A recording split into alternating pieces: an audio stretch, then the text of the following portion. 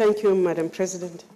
We stand as South Africa to say to our brothers, our neighbors, our sisters, our mothers, in fact, our families, because we have intermarried, No. to say that your pain is our pain. We do know when sanctions are put to be punitive. Our people, different civic organizations, different political parties, not all in South Africa have actually been marching up and down to demand that these sanctions be removed. And we do so because we understand that without South Africa standing up, joining up with the other neighbors, the economic progress of the region will be retarded.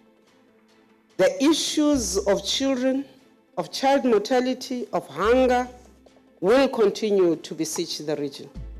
So this is not Zimbabwe's problem, this is a regional problem.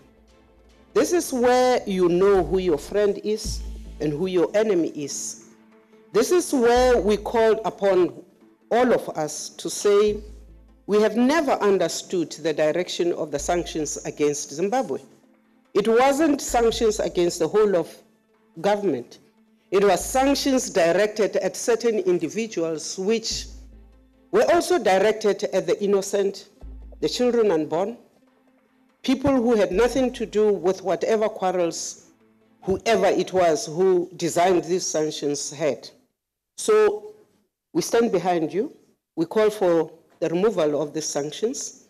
We want Zimbabwe to be able to enjoy her mineral wealth, to go back to being the fruit basket of our region, and to walk tall amongst the nations of Africa. And I thank you.